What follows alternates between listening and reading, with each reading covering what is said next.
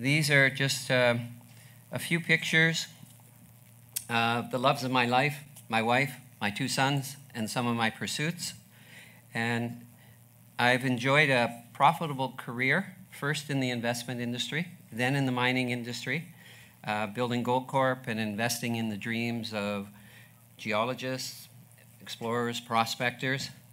And I've made a lot of money doing that. And uh, many people have asked me why I keep working.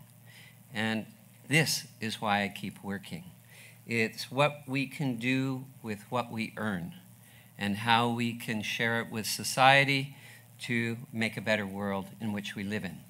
And um, in here, um, my wife and I started, funded a medical research center to do work in regenerative medicine and stem cell research with the belief that that would make many more people healthier and reduce some of the costs in our healthcare system and the crisis we're facing there.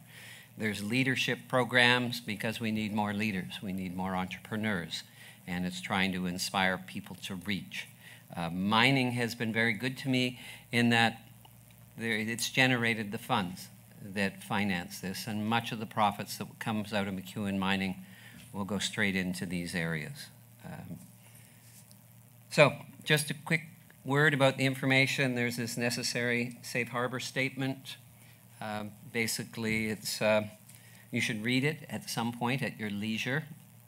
Um, but it's really saying if you're risk adverse, don't bother investing in us, and that um, any of the statements we're making, which are forward looking, should be treated as um, with some degree of skepticism because they may not come to pass. Um, and I'm getting into Chris's slides right now. We're going to give you a little insight into who we are. Um, I'm delighted to say that we've covered a large amount of the ground that we lost in the first quarter, and we're moving much faster going forward. But I'd like to talk about the six areas where we've made the biggest gains. First is in the area of management, senior management, uh, both financial, operating, and exploration. We've added um, building the depth of our firm and the experience to take on new projects.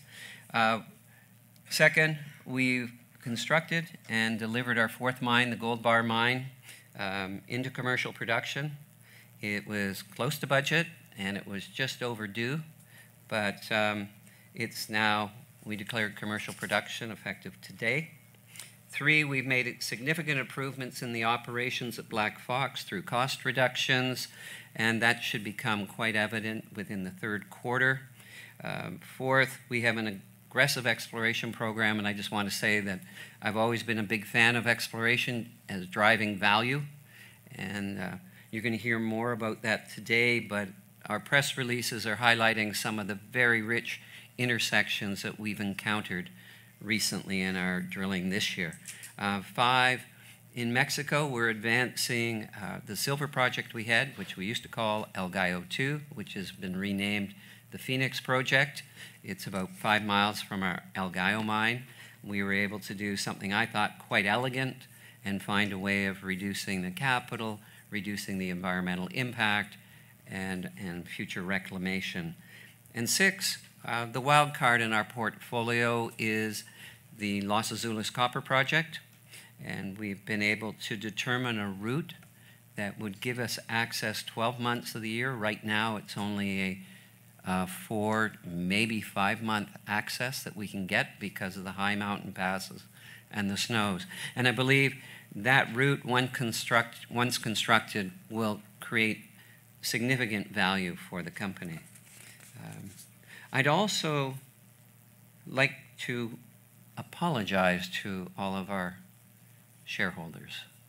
Apologize for the pain that we all went through in the first couple of months of this year.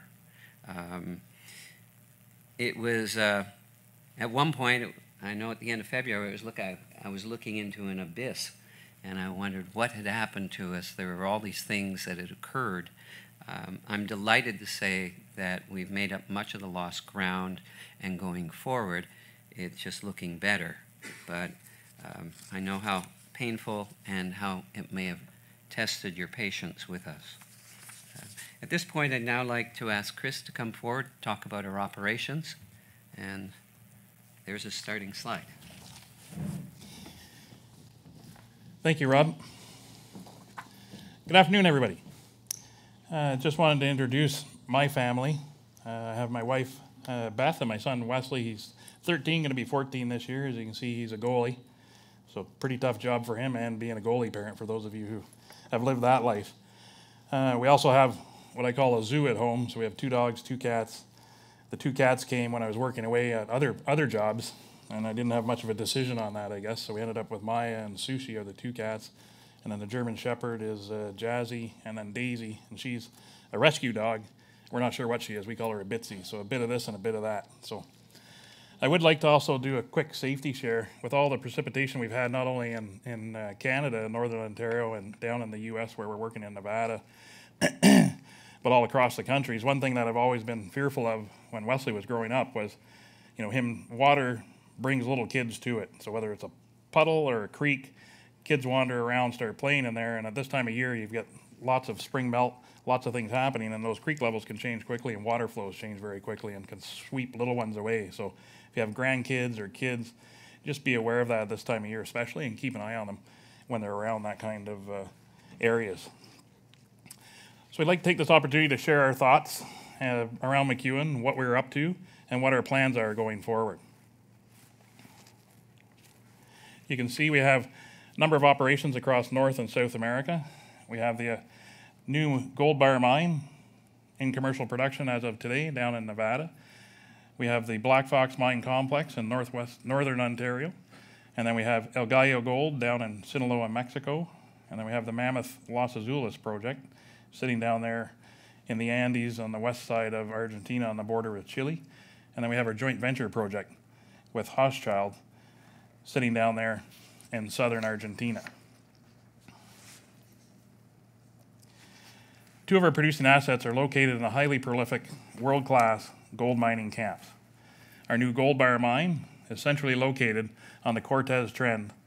This area of Nevada has produced over 224 million ounces of gold and continues to produce over 5 million ounces of gold this year. In addition, we have the Black Fox complex. You can see in around from Timmins to Matheson, 85 million ounces of historic production coming out of that area. And along the entire trend in the Abitibi, 185 million ounces very substantial areas to have gold mines. What is even more exciting is that we don't just have any claims in these two areas, we have the claims, right claims located on the right geology. We are aggressively exploring both of these properties this year, and we are excited about the potential for new gold discoveries. Sylvain's exploration team will discuss more of this during their part of the presentation. As Rob, Rob mentioned earlier, we're extremely pleased to announce that the Gold Bar mine has moved into commercial production. Uh, and you're probably wondering, what does that mean? Well, what we're saying is that our mining and processing operation is up and running and is behaving as planned. All major expenditures on the project are complete and all facilities have been turned over to the McEwen operations team. The mining activities on the mountain are progressing as planned, and we see strong reconciliation between actual and forecasted grades and tons. The gold recovery plan is performing as designed, and recoveries are tracking well to the recovery curve we had developed in our feasibility study. As you can see here at Gold Bar, just to give you a quick little rundown, this is the heap leach pad, and you can see all of the new ore stacked, and we're working our way up the east side of the pad right now. And then we have our gold recovery building sitting down here with the solution ponds, and then our office complex sitting over here, and we're actually mining gold pick is up over here in cabin you can't quite see, but it's down in that area there. So we're loading the heap pad with the ore handling system, which includes a jaw, jaw crusher, screening plant, an agglomeration drum, and a stacker. We've averaged 5,470 tons per day over the past 28 days, which is 75% of our planned production rate of 7,200 tons per day. And we have had several days where we've operated at more than 120% of plan. We will continue to ramp up the full production over the next couple of months. It has been challenging with the unusually wet and snowy winter and spring we got hit with. In fact, it was the wettest winter on record in the USA, but we've gotten through it. We're making changes this summer with the ore handling system to ensure that we are properly prepared to handle the elements next winter, and Jack will speak more about that in a few minutes. We're on target to meet our 2019 guidance of 50,000 ounces, and we're expecting to produce around 80,000 ounces in 2020. Currently, we're mining two separate pits. You have the Gold Pit, pit, as I mentioned, sitting over here, and Cabin Creek sitting over here. But what we're really excited about is what they are potentially sitting on top of, the depth potential of this. And again, Sylvain and his exploration team will be speaking to that later in the presentation. So the Black Fox mine and mill, we bought that back in 2007, October 2017, for $35 million. And while we're currently only mining one deposit, and that's the Black Fox mine here, producing 50,000 ounces a year, we see tremendous potential on this property. This is why we're investing heavily into the exploration program, and we're advancing engineering and economic studies on both Grey Fox and the Froome deposit. Our focus in bringing Grey Fox, uh, sorry, bringing the Grey Fox complex into production in the next two to four years is the fact that you have the potential to be mining three separate and possibly four. We're chasing the Gibson zone right now, which Ken will talk about a little bit later. But we have three deposits here that we conceptually believe we could access from, from one ramp. So again, reducing capital and looking to increase our margin on the, on the, on the work. We also have the advantage of taking uh, the synergies with respect to the Black Fox mine. We already have all the infrastructure in place on site, powers on site, water, treatment ponds, loading facilities, everything you need. We can take advantage of that and again, help drive down our operating costs going forward. Plus, we have a management team in place which is looking after Black Fox. You can easily take on more work with other deposits by just adding incremental people. You don't have to have another general manager for each of those deposits. You have one and they oversee that entire complex. In addition to that, we have the Stock property, which is where our mill is located. It's about 23 miles away to the west, and our mill is sitting right here on top of the old, uh, old uh, Stock mine. We came out with initial inferred resource last year for Stock East, sitting over here, to build on, and we're going to build on that exploration program this year. We also have depth potential below the old mine workings, and you can see these colors the pinks are the hotter colors are higher grades. So you can see there's something happening here, trending down with the old stock mine, and then again, what we've done out on stock east. So I can see this actually coming back online and being another mining operation for us in probably five to six years' time. In mining, they always say the best place to find gold is in the shadow of a head frame, and that's what we have right here at Stock. We envision the Timmins operation between Black Fox property and Stock property we're looking at producing 100 to 120,000 ounces per year of production within the next four to five years.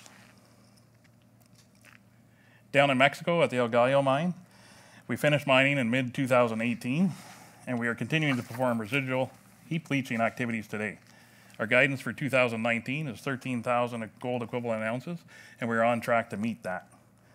Our team has been working on the next phase of life for the operation, and that is Project Fenix. The feasibility study was underway for several months, and we're on schedule to have it completed by the end of June.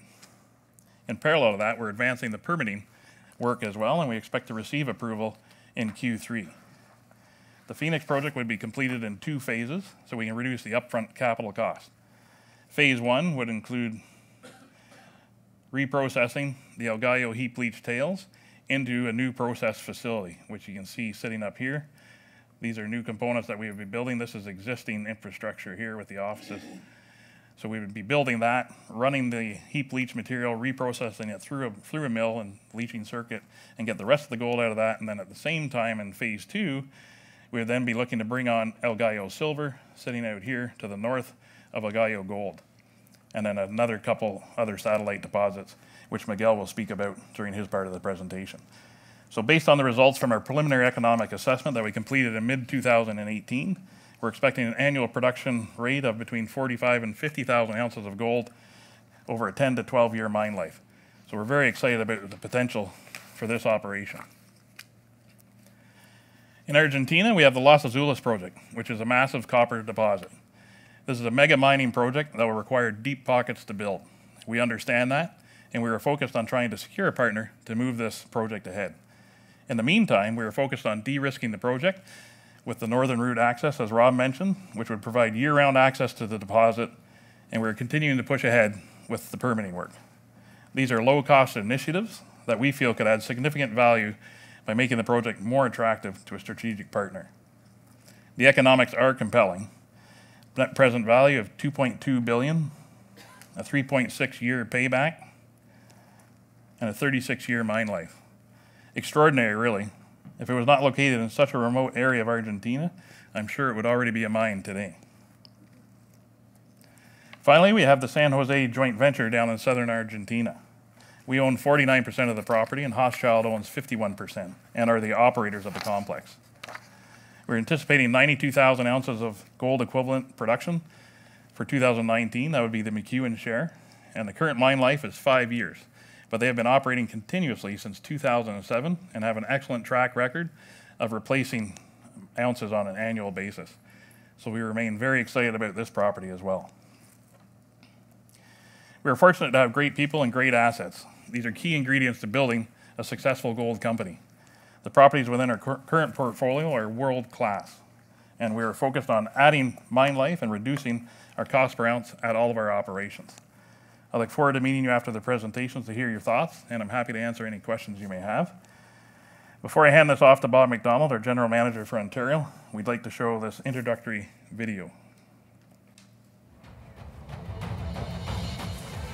In Ontario, Canada, McEwen Mining owns 100% interest in the Black Fox complex, located in the Beatty and Hislop townships.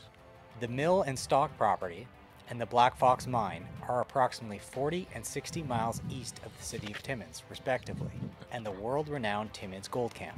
The complex is positioned directly on the Destor Porcupine Fault Zone, internationally known as the Golden Highway, which has produced over 90 million ounces of gold from various operations.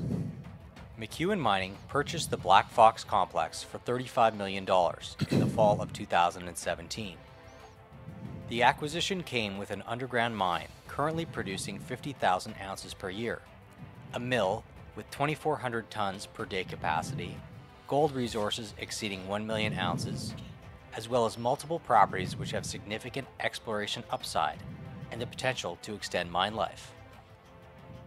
Historic production within the Black Fox complex totals over 1.7 million ounces from both open pit and underground mining. The Black Fox complex and stock properties consist of multiple projects which have a cumulative 12 miles length of prospective structure and geology. For 2019, McEwen Mining will spend a total of $17 million in exploration at the Black Fox complex, with a goal to extend mineralization around known deposits, as well as testing new targets close to our mine and mill. The exploration program will focus on multiple targets within the Black Fox complex, including the Grey Fox, Froome, and Stock areas. These nearby targets are all associated with the Destor Porcupine Fault Zone, and with further exploration, may contribute to the definition of new mineralization that can extend the mine life at Black Fox. The Stock and Black Fox deposits and the overall depth of our exploration targets are shallow when compared to other deposits and mines within the same favorable Archean host rock.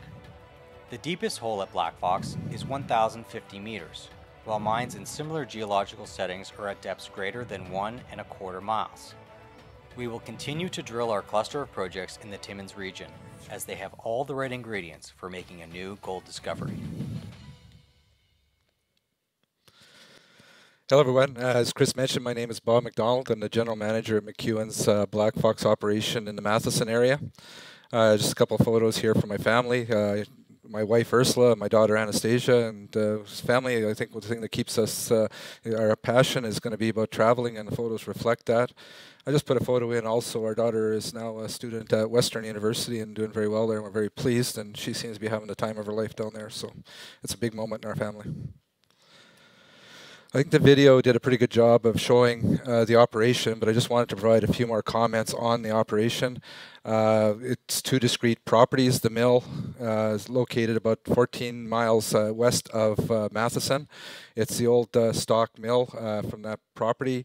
in the foreground, you can see our mill complex and then the tailings facility in the back located seven uh, miles uh, east of uh, Matheson is the Black Fox mine site itself, and you can see in the photo there the uh, it's the operation uh, background there. You can see our administration buildings and the portal to the underground for Black Fox is sitting in the shadows of the pit.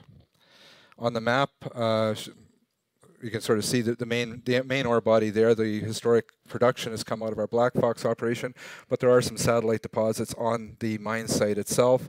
Flanking the Black Fox deposit is the Froome deposit and the Tamarack, and to the south end is the property we're pretty excited about right now, and it's the Grey Fox operation.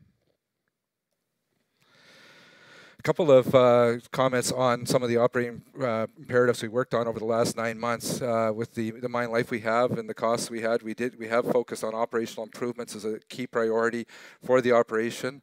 Uh, to date, we've identified uh, 12 uh, 12.3 million dollars worth of savings that with current production rates is about two, $250 uh, an ounce uh, once fully reflected in our operating costs and offset somewhat by some of the investments we have to make in the business. Uh, how we achieve that, it's worth a few comments. One is that uh, today, 12 sorry, 12 months ago, uh, the difference in the manpower between 12 months ago and today is around 46 people. That's realizing a savings of about 4.4 million dollars in labor costs.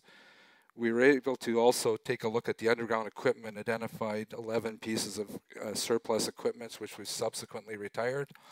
That's going to save us about $1.7 million uh, per year.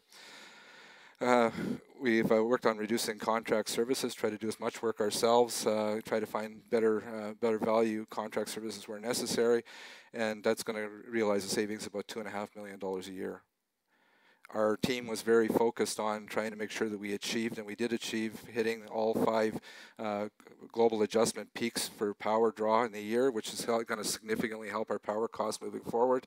And we're going to realize a savings of about 1.8 million there in the uh, second half of 2019 and into 2020.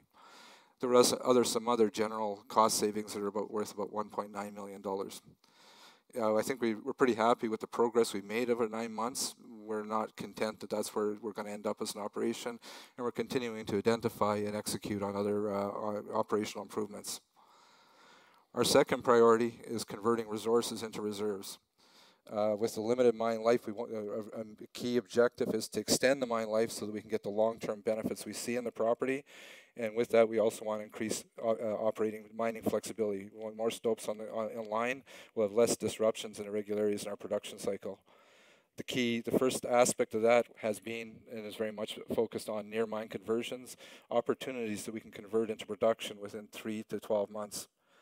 There are some other production opportunities as identified by the satellites, and we'll talk a little bit more about those. There's the Grey Fox deposit and the Froome deposit. Just a quick comment on the, uh, I did include the photo here, just a quick comment on there. This is our mine rescue team they just competed uh, earlier this month and uh, they did fairly well. They won a couple of the competitions and come, come within a whisker of actually winning the provincials. Uh, what's, what's inspiring about this is that the all but about two people on this team have one or two years experience and at least one of the people had one month's experience so they're pretty enthusiastic. I thought they did an exceptional job and they, they've done us proud at the competition. Uh, what's highlighted here in the red, these are our active mining areas. Those are the areas we're currently uh, mining in. Uh, again, uh, so we, we, when we're taking a look at it, our second imperative is to extend the mine life, identify near mine resources that we can convert. And these are the targets that have been identified by our exploration and geology people.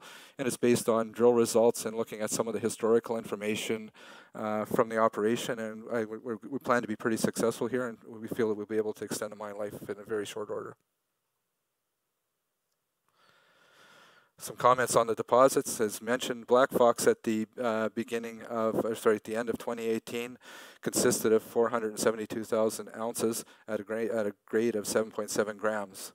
In addition to that, we've had the Grey Fox, which is at the southern part of our property. It has a resource of 465,000 ounces at a grade of 6.6 grams. When we take a look at that, there's a fairly big, sounds like microphone. Uh, so that's a fairly critical, a fairly decent sized pr uh, property uh, deposit. It's attractive in terms of not only the size but the grade, and it's drawn our interest. The Froome deposit, it's got an it's pretty good location. We can access it from underground at the bottom of the uh, Black Fox pit, but it is a bit lower grade and it is fairly modest in size. Historically, it's indicated that it's a marginal deposit. We will take another look at that, and uh, but it's not our, our number one priority remains Grey Fox for development. The Grey Fox deposit, as mentioned, is 465,000 ounces. Uh, it continues to be an active exploration project. Ken Tylee, our exploration manager, will speak to it in detail on what's going on from an exploration viewpoint. From a, an operational viewpoint, when we take a look at it, we can see that it's multiple structures. There's the contact zone, the south zone, and the area of immediate interest is the, the 177 zone, uh, 147 zone. When we take a look at it historically, the work that was done on assessing this property identified it as an open pit. I think with the experience and the, and the uh, expertise that we have on the current management team and technical teams, we've took a step back and we're reassessing this as potentially being an underground deposit. Yeah, we feel we can selectively mine it. There's some synergies that we can get from uh, the existing uh, uh, Gibson decline that's in play right now. And then we can also, coming off of that, we see that we have the opportunity to limit the amount of capital development required to access multiple deposits, which is exciting to us. With that, with that, I'll hand it off to uh, Jack Henris, our, our general manager at Gold Bar. Thank you. Got to go back.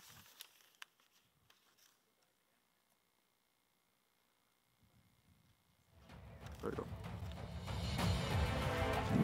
The Gold Bar Mine is very well located on the prolific Battle Mountain Cortez Gold Trend in Eureka County of central Nevada, and only 25 miles south of Barrick's largest gold operations. Over 224 million ounces of production comes from Nevada and represents over 80% of United States gold production. If Nevada were a country, it would be the fourth largest gold producer in the world. Gold Bar is a conventional hard rock open pit mine using traditional heap leach methods.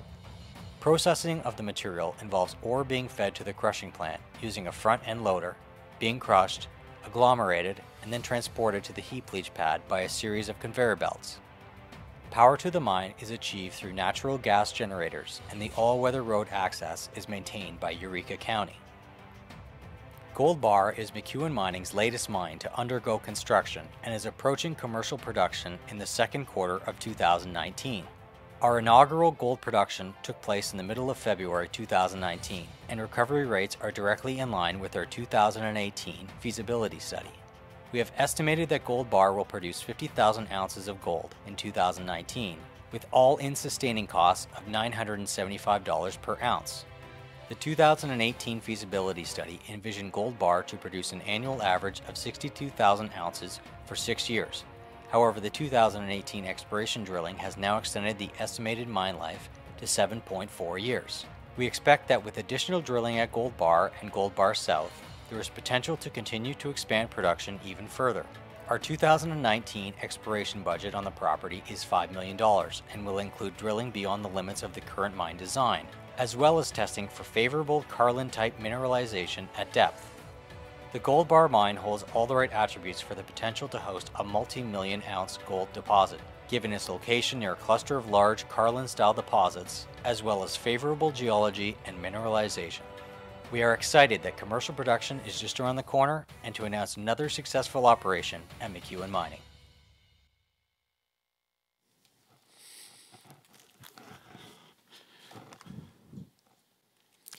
Good afternoon, everyone.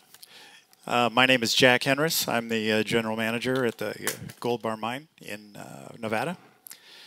Um, just a quick uh, slide here to kick off a little bit about my family. Um, I've got a wife, two kids. Um, there's pictures of my wife and myself uh, in uh, in Ireland uh, recently. Uh, my two kids. That's at the uh, Garden of uh, the Gods in Colorado, and then we have our extended family as well, which is our our four our four dogs. Um, and proud to say that three of them are our rescue animals. And my wife and I have been involved with the rest of the family for about 15 years in dog rescue.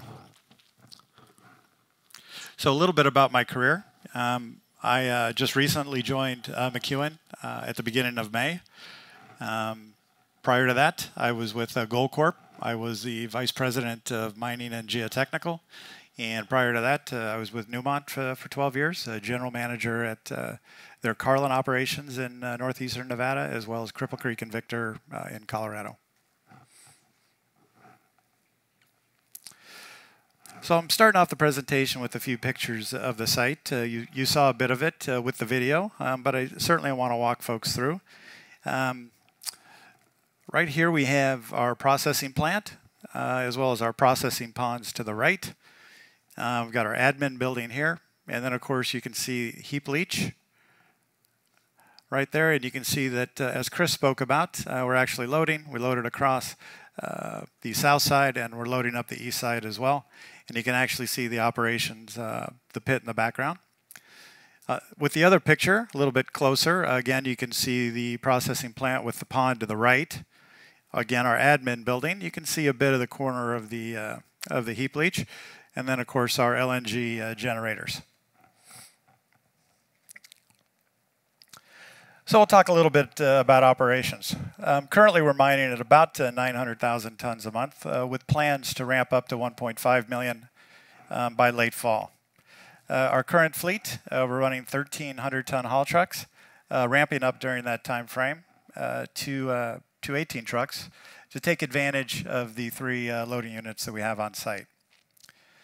As Chris stated, the model is performing well, both on location and volume. Um, but we are getting a little bit of a, a, little bit of a bump in grade, which is most helpful. The pictures uh, to the right um, this is the pick pit looking south. Uh, you can see a couple of our blast hole rigs, and we have a haul truck sitting uh, right there, uh, um, leaving the pit. Uh, and the picture down below, um, we've got uh, our survey crew um, staking ore for us. Um, so just some pictures of uh, the activity that's going on at site. So we'll move on to process. currently, um, our crushing and stack, stacking production rates through mid-month were about 6,000 tons per day. Um, our commercial target of production is 5,400 tons per day, as Chris stated, uh, which is 70% uh, of our targeted uh, 7,200. We actually have plans in place. Um, we want to get to 8,000 tons per day through a series of continuous improvement projects. Several of those projects are, uh, are um, projects that we've developed uh, as the learnings of operating the mine. Uh, the conveyor belt cover and the roof over the agglomeration drum are really weather related. Uh, as Chris stated, very wet winter uh, in Nevada. And uh, we've learned, uh, as well as we're going to implement a telescoping stacker and a rock breaker at the crusher. Um, and a later slide, I'm going to detail exactly what the benefits of that work is going to is going to bring to us. So quickly, mine production. Um, this graph shows by month um, actual and forecasted production for the rest of 2019 and 2020. What you can see clearly is uh, this spring into summer, there's a ramp up to about 1.5 million tons, as we talked about. That comes with the addition of some trucks to take advantage of the loading units. Um, but then we've also forecasted weather days, both in 2019, 2020, and for life of mine. Again, as we've learned, uh, running the operation at 8,000 feet in northern Nevada, there's, there's weather impacts. So we've accounted for those and potentially gives us some opportunity as we learn how to uh, run better in those conditions. And if we don't get a severe winter, potentially gives us some upside. Um, ounce production, uh, you see that, uh, again, this is actuals um, through April with a ramp up through the end of the year. As Chris stated, planning to be at 50,000 ounces uh, by year end. And then if we look at uh, 2020, uh, we ramp up to 80,000. And if you think of that, it makes perfect sense. Um, we, we in 2019 we have to produce about 40,000 ounces in the last half of the month to hit the 50,000 for the entire year. So 80,000 is is achievable for us. Quickly wanted to talk, and Chris hit on this as well. Uh, quickly, quickly wanted to talk about the uh, uh, recovery curve. Um, we have in the green, um, we have the feasibility uh, recovery curve, which is uh, ultimate recovery versus time under leach. And the red line you can see is our actual performance uh, with the uh, first uh, cell uh, under leach, and it's performing very closely to the feasibility recovery curve.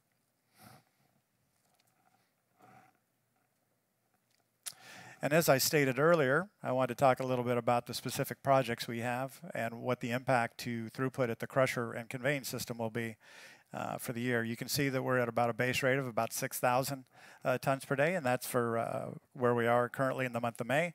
Rockbreaker, we believe, will bring about 400 tons uh, per day. Uh, conveyor, 300. The agglomerator, the roof on the agglomerator, about 500, and um, the telescoping stacker will be 800 uh, to, to ramp us up to 8,000, which is our internal target. Um, just to be clear, we're not gonna increase the throughput. This is just these projects are gonna increase uptime for us, so we'll have more time crushing. With that, uh, I'd like to turn it uh, back over to Chris.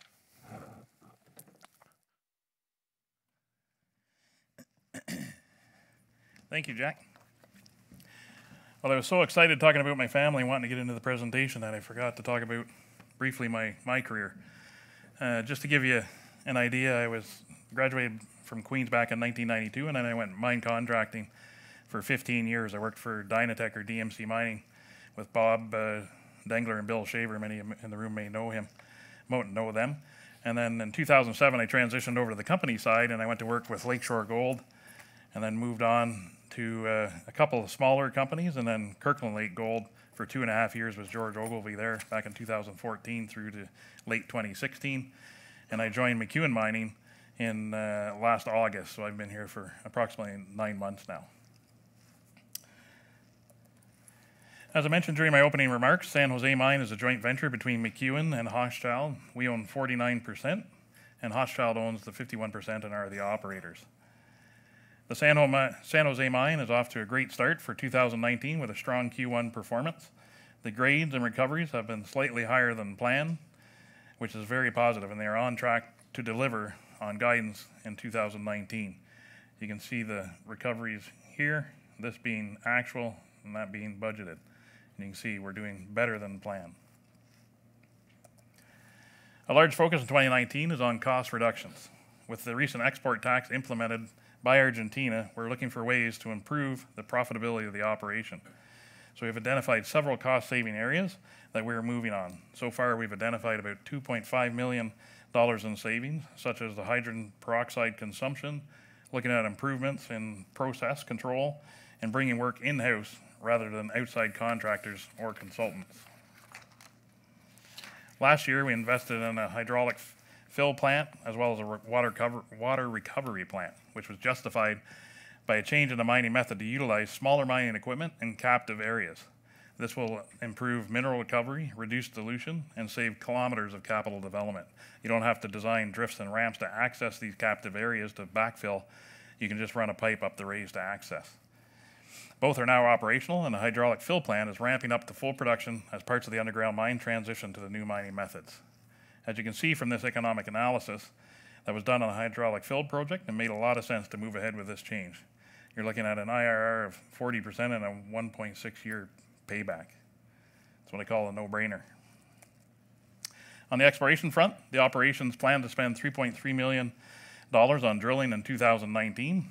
Not only are we further exploring the San Jose mine, but we're also drilling at Aqua Viva, sitting up here to the northwest corner where they already have several mineralized structures identified. It is a very exciting area for us. The operation, as I mentioned before, has a solid track record of replacing ounces on an annual basis. And we are pleased with the mine's performance in the first quarter, and we're excited about the exploration potential on the property. I would now like to pass it over to our Senior Vice President of Exploration, Sylvain Guerard.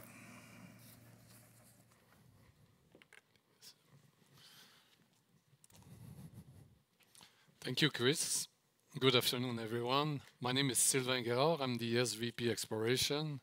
On the first photo there, uh, my time is mostly shared between family and work or work and family, uh, traveling and, and exploring for, for gold. Uh, a key component of, of our business and our work is people. And here it's an example of a, a workshop we had uh, recently in Nevada uh, getting a, a, bunch of uh, qualified people in the room sharing information and defining uh, best targets.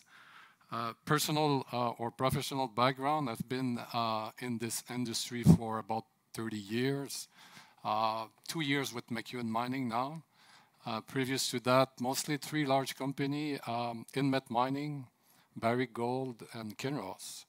I work in, in many countries, mostly north, South America and, and also quite a lot in Africa. And uh, I had the, the opportunity to work on, on some uh, really large uh, world-class gold system uh, in the world. Um, I will give you an introduction about our exploration programs, and then Ken Tylee uh, will will talk about Timmins and Bob Kastelic uh, about Nevada. The key points I want to make are that we are focusing our exploration on three projects uh, that are very well located and provide uh, a real good upside exploration potential. you know, we talked about it in Nevada. It's Gold Bar, and in Abitibi, southern Abitibi, it's Black Fox and Stock. In addition, our partner, Hochschild Mining, is exploring at San Jose, Argentina, and managing a 5 million exploration program around our mine there. 2018 was quite a positive year. It was our first year there in the Abitibi at uh, those projects and reactivation in Gold Bar. And um, we, we generated results, significant results from all of our sites. And, and this year, we are following up on, on last year's success with uh, another major exploration program. Starting with the regional setting, and this is important where we are located, all of our projects are located along regional structure, highly endowed, well-mineralized structure, hosting hundreds of million ounces of gold. Very large deposit, plus 10 million ounces, often occurring in, in cluster forming the mining camps, the mining districts. As you can see, uh, this is the Destor Porcupine just east of Timmins here. And this area, it's our Stock project. We have two projects in Timmins, Stock and, and Black Fox. And there is a major structure, as you can see here, intersecting the Destor Porcupine exactly where the mine is located, or the historical mine at Stock. If we keep going along the trend, there is a major flexure, change of orientation of the break right where Black Fox is located. And there is also a structure coming from the south, intersecting the, uh, the, the Destor Porcupine at, at the property and many deposits occur on the property and along the, the, the, structure to the south. So we are not just located along the Destor Porcupine, we are located on key segment of the regional structure where a lot of action, a lot of things happen, and gold mineralization um, has developed, and, and uh, it's a good place for discovery. Moving now to Nevada, Again, we are located along one of the trend, the, the, the large trend in Nevada, the Cortez trend, just southeast of the Barrick uh, uh, district, uh, uh, Cortez district. There's 50 million ounces gold there. Very large deposit, um, regrouping in, in, this area. If we extend from this sector, this is the Barrick sector there, along the a major fault, the Cortez fault, that become the, the wall faults over our gold bar project, Gold bar is down here to the south. Um, there is also a very special characteristic. You see there's northwest-southeast trend. This is an alignment of intrusive, so there is a structure controlling that, that, that cut through the, the trend there. We have a similar situation here at Gold Bar. Again, we see those are key feature, key criteria, making those projects extremely well located for, for gold mineralization. Now we look at the local scale. Okay, we are well located along the trend. What about at property scale? We are working, exploring on proven gold system. Gold bar has over 1.7 million ounces gold endowment. I mean here past production, current resource reserve. It's a global uh, gold endowment, significant size system. Black Fox has more than 2 million ounces. Stock, we got the first resource last year at the Stock East.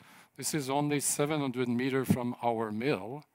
Um, and the historical stock mine stopped production 20 years ago at shallow depth, 330 meter.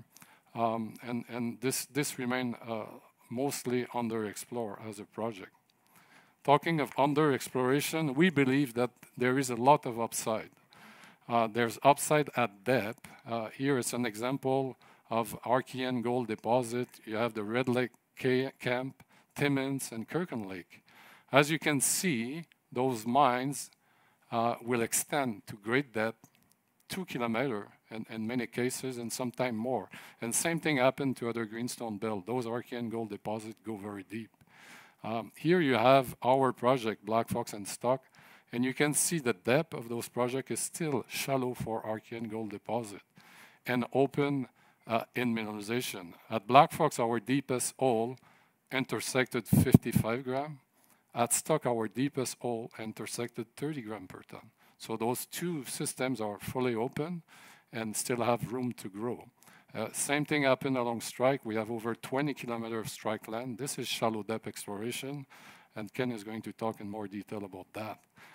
Again, Gold Bar is, is, uh, is an interesting project. It's a large footprint. Uh, we have a 12 by 6 kilometer uh, area that is mineralized around our pit and extension uh, on the property, but it's still a shallow system. Um, so there is grow potential there as well. And, and, it's very important to, to keep in mind that in Nevada today you have the big gold strike, the big Cortez, but all of those deposits started as gold bar, small, low grade, often heap leach, open pit. So we believe that the, upside potential there, it's, real, and, we are going to evaluate this potential. I mentioned 2018, that was a positive year, and, and just here a few outcomes. Um, we replaced 70% uh, of the reserve ounces at Black Fox, and at Gold Bar, we added one year mine life. Uh, on the resource front, we added 300,000 ounces of measured indicated resources from uh, projects in Timmins and Nevada, in addition, we had uh, over 170,000 ounces of new infer resources. And uh, I mentioned San Jose, we keep increasing there the infer resources as well. In addition to that, you know, we uh, develop a lot of understanding about our projects, refine our model, um, generate new targets, and, and, and generated a lot of new results, drill intersections, uh, and, and we are following up uh, and drilling on, on those ones right now. 2019 now, uh, basically, we keep following up. We had a lot of uh, material that we had a few drill intersections that we really have to, to keep drilling, so we are doing that. Uh, starting with Nevada, uh, we have the Gold Bar South deposit. That's 100,000 ounces gold at surface, so we want to convert this from resource to reserve to extend the mine life. Hopefully, we can get another year of mine life from it, uh, or even more. We'll also step out from our open pit area and test for a larger gold system, Carlin system at Gold Bar. And a portion of our program is, is directed to test the, the deep potential of the property for the large, game changer actually, uh, large Carlin gold system. So this is happening now. We started drilling uh, earlier this month. At Black Fox, we talked about the mine itself. So we drilled the west extension and the depth extension of the mine. Um, and we're also testing targets or following up on targets very close, proximal to existing resource. One of them is the Grey Fox sector in the southeast of the property. Uh, two exciting targets uh, in, in, in, this area, Gibson and 147 Northeast. We had a press release out just this morning um, uh, about those uh, recent intersection of those targets and uh, really a good place to keep growing our uh, uh, resources there. And at Stock, we have two mineralized zones, the mine and the Stock East that we keep exploring, and a three kilometer priority trend around the old mine. And San Jose, I mentioned that, we keep exploring around the mine. We have good track record there to replace resource reserve and, and finding more um, high-grade gold and silver mineralization. I will conclude by saying that, uh, you know, from my experience uh, working uh, a lot of gold system uh, in many countries, I can see that our projects are of top quality based on local and also regional scale uh, criteria. Exploring proven gold system uh, located in some of the best regions in the world really clearly improve our chance of success and, and discoveries. Um, 2018 was a, a, pretty good exploration year, and we are working to make 2019 even better. Now we'll invite Ken uh, and Bob to talk about uh, in more detail our projects in Nevada, in Timmins and Nevada. Thank you.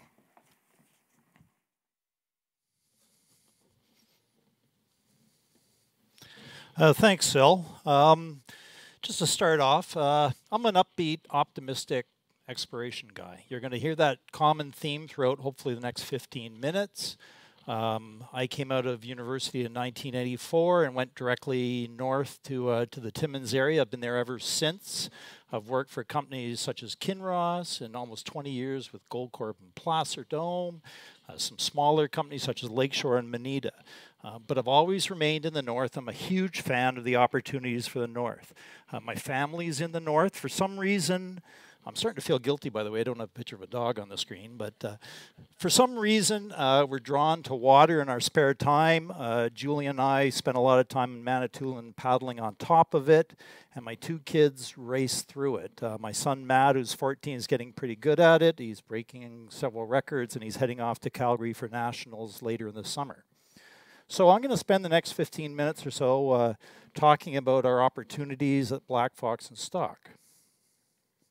So as Sylvain mentioned, uh, we're ideally situated. We have two properties that overlie the regional Destor Porcupine Fault Zone. I don't want to get into a lot of detail. I'll try not to uh, go into too much geology 101, but the key takeaway here is you need structural preparation. You have to have those cracks opening up. You have to have those voids forming so the late stage fluids that carry the gold can infiltrate into those openings and deposit the gold. The Destor Porcupine is renowned for that. It's a world-class gold camp, and uh, within the Timmins area, you have over 70,000 ounces. And if you just, if I can, just zoom into the uh, the image here, just just in this area here. 2 million ounces of production over the last 50 years. This is on a splay or a, like an offshoot or a fracture that feathers off the main structure they come out like this. Okay?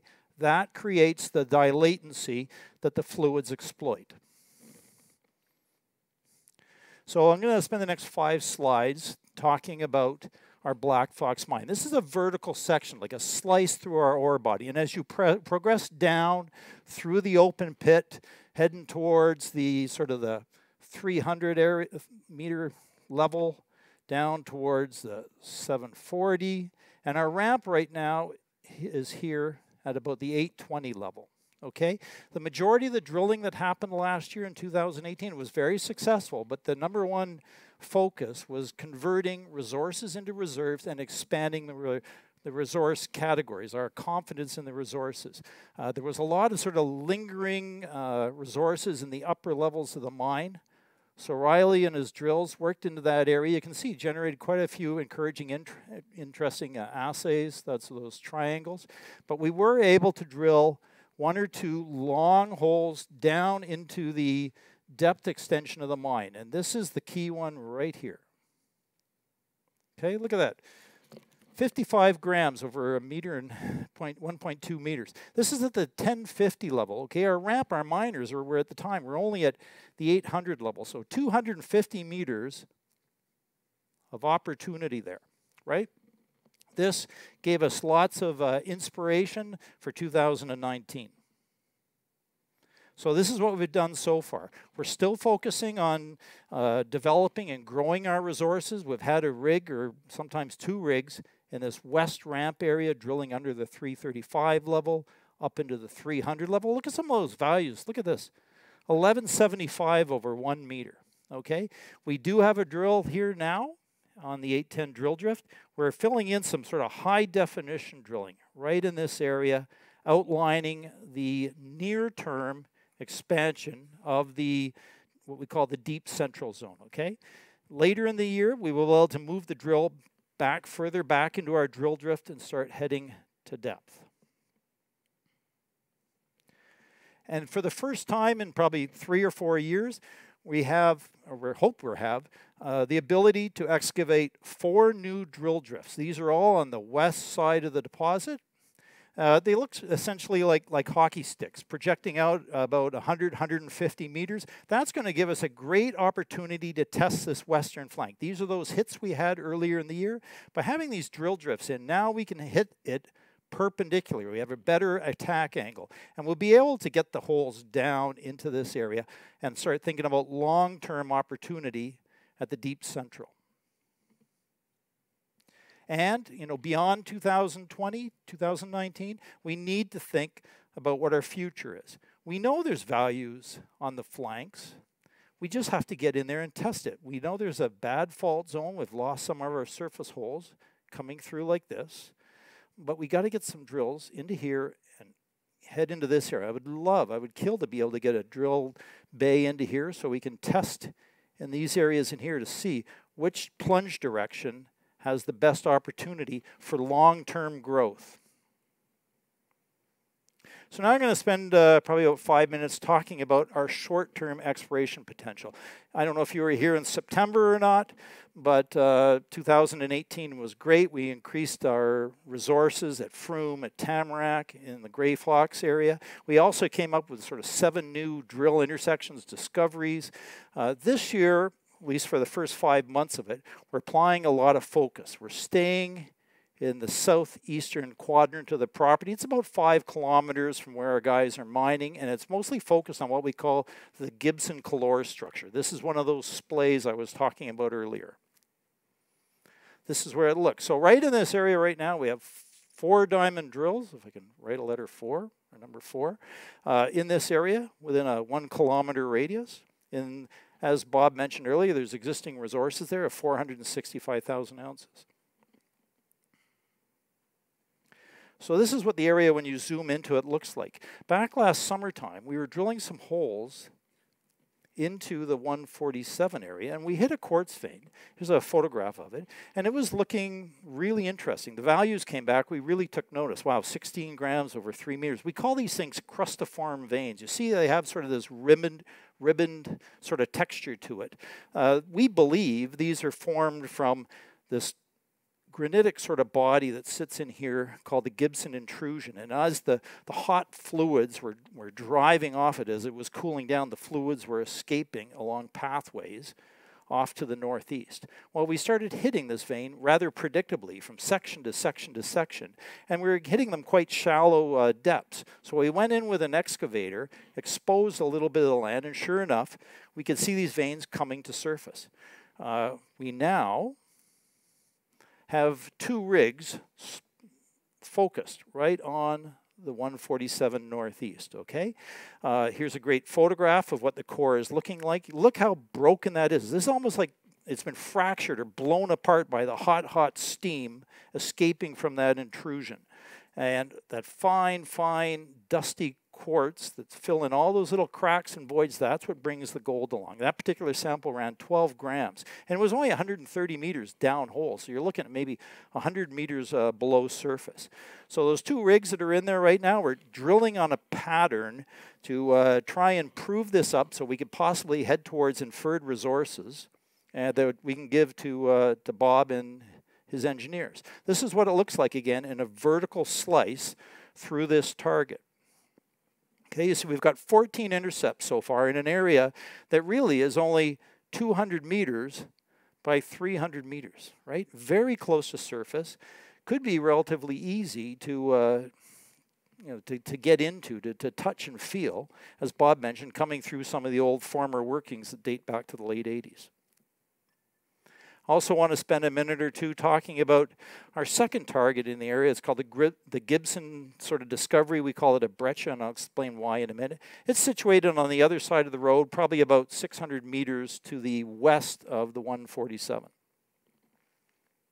So last year we were drilling down under some old historic workings from the late 80s where there'd been some veins that had been exploited, and we let the hole run on. And we entered into an incredibly fractured and broken up run of uh, what we call syenite. It looks almost like uh, like like granite. You can see this this picture here. It almost looks like it's been milled and crushed. Well, you see all this sparkly stuff. This is all pyrite that came in with those mineralizing fluids. Again, the same theme. You have to have structural preparation, you have to have mineralizing fluids. The gold came with it.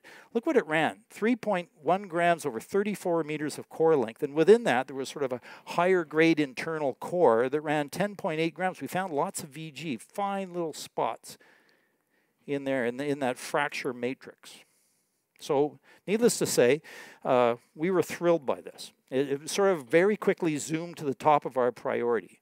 Back in April, when we started drilling, we put a rig into here, and this was the discovery hole. Well, we laid out a hole to go about 250 meters vertically below it. We drilled the first hole, number 1106, and boom, we hit. See all these elevated, these are gold values in here over about 60 meters, and they're right along the contact of that intrusion between the volcanics and the intrusion. Okay, look at the values that are coming back 16.9 grams over 3 meters, and also 6.8 grams over 2 meters. So we installed the steel bypass wedge up hole to get a second cut from the same, from the same path, and we were able to do a cut in here. Now, a lot of these assays, I don't know if you can see it on this scale, but you see the blue area. Those are those assays are out at the lab right now. But we rushed this one spot in here, and oh my God, look at that, 519 grams over 40 centimeters. And I'll show you what it looks like. So there it is there. You can see the nice visible gold along the fractures. And again, look how broken and crushed and structurally prepared it really is. In this particular spot, there was four occurrences of visible gold, and as I said, it ran 519 grams. This is all the key ingredients that you would want in a recipe for a large-scale system. And this is hopefully our visualization of what a large-scale system looks like. This is that upper old historic vein system in here. We are drilling down underneath it. This was our discovery hole last year. We drilled the first undercut. We drilled the second undercut. These circles, guys, they represent 200 meters in diameter, right? So just put that in perspective for scale. You're looking at a, a box here roughly of 500 meters by 800 meters in depth. We don't know where it's going. We don't know it's limited, but I can tell you we're going to drill a hole in here, here, here, here, here. We're going to be there probably for the next four months, okay? Drilling holes at, again, 100 meter spacing and just trying to very quickly get a, uh, an idea of the volume potential. But you can see easily that if it continues to, to show gold values like we're seeing here, you know, 11 grams over a meter, 35 grams over a meter, or, or that 500 gram, we could build up ounces really quickly. So now I'm going to spend a couple of minutes talking about off to the uh, to the west at our stock property. This is about a 20 minute drive from our mine site. Um, it saw a lot of production going on in the 80s and 90s, and again, it's ideally located. It overlies the path of the Destor porcupine. In this particular case, all the splays come off like this, right? Lots of opportunity. The old Aquarius deposits there that Echo Bay tried mining, and uh, I'll show you what we've been doing there. This is the mine. As you can see, it's quite limited. Uh, a company called St. Andrew mine there. But key to note, and this particularly in the shaft area, only 275 meters of depth. Over here off to the west zone, 330. I mean, that's just over a 1,000 feet deep. We firmly believe it's wide open. There's no cross-cutting features. There's nothing to truncate it here or here. They did very little amount of drilling, like from other areas, so uh, we wasted no time in getting into there. This is a satellite image, a high altitude image showing the mine. This is what we focused on last year. Three areas, probably within, oh, about two kilometers of the old the old original mine. You can see the tailings that we're adding to all the time. This is the, the mill operations where we process our ore. Okay, so we got a rig into the east zone and uh, started drilling it at close density at 25 to 30 meters apart. Uh, we were originally thinking of potential of like an open pit. Uh, and we also had a drill, trying to drill off to the flanks of that old historic deposit. And then we did start creeping into the center to try and hook them up. This is what the core looks like. Again, for I guess probably the third or fourth time, you need that structural preparation. It's a long lived event of crack, come together, crack, seal, crack, seal. And this is what you're seeing going on here with the quartz. And Oh, look at all this nice pyrite in here. In this particular area, it's kind of hard to see, but there's 14 grains of visible gold. And uh, this section right in, in here ran over two meters, ran close to an ounce, 26.5 grams. This is classic uh, Zone material just next to the Destor porcupine that every geologist dreams of hitting. This is again one of these vertical slices through the deposits. The hot colors indicate higher grades, right? So right now we've moved a drill into the Stock East area. Last fall we completed our very first ever resource calculation on that, came up with 150,000 ounces. So now we have a rig in here and it's testing the limits of these higher grade shoots. And who knows, maybe they connect. Maybe they go like this. We don't know. We got to drill. We got to drill down plunge. We have to drill in here and try and build up some underground compatible uh, values. You can see we're getting things like 4.8 grams or 2.8 grams, but they have high grade internal cores, 19 grams, 52 grams. Okay.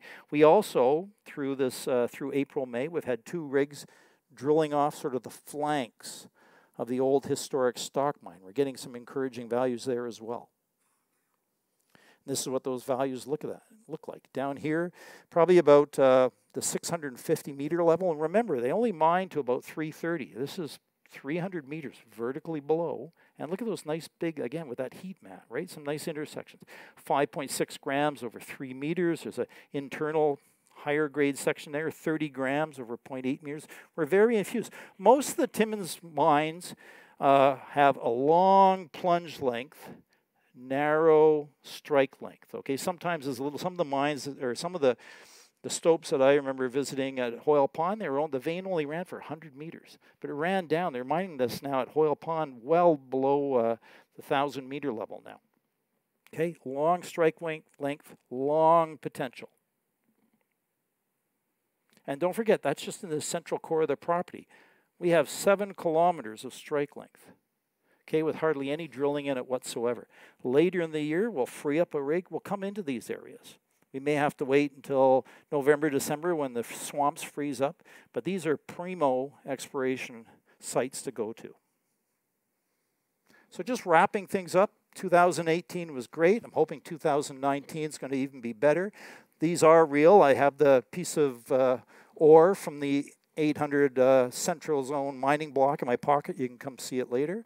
Um, so just as a good example, we're improving the opportunities at the mine. This is certainly near term. And five kilometers to the south, we're focusing on this 147 zone. These are values that just came in over the past few days, almost 50 grams over 60 centimeters. From that, we're hoping to be rather predictable near surface vein that we call 147 northeast. So that wraps it up for about me. I've got core on display out there. Please come by and have a look at it, and I'll uh, pass the uh, I'll pass the mic on to Nevada Bob.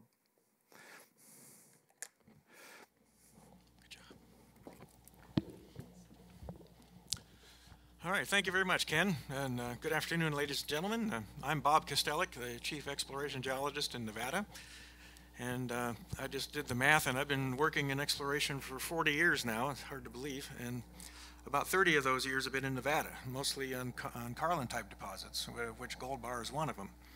And I was involved in uh, the discovery in the Mesquite Project in Southern California for goldfields back in the 80s.